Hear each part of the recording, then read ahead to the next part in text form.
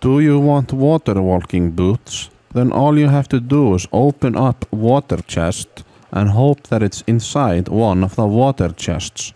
You can also get it by fishing in the ocean and getting ocean crates and opening the ocean crates. As you see in the video, I got it by opening water chest, which can be found in water everywhere around the world, but I guess the easiest place to find one is the ocean itself. You go into the ocean and pick up water chest. Or you can fish ocean chest to get it there.